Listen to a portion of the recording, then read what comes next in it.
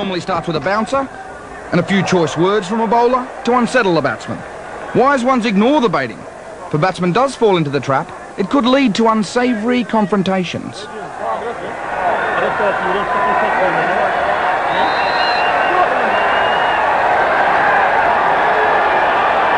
A ferocious bouncer is the typical bowler's response. Although this time it's an Aussie on the receiving end. They're often seen as the perpetrators. We've had this sledging tag since the Ian Chappell era, and it doesn't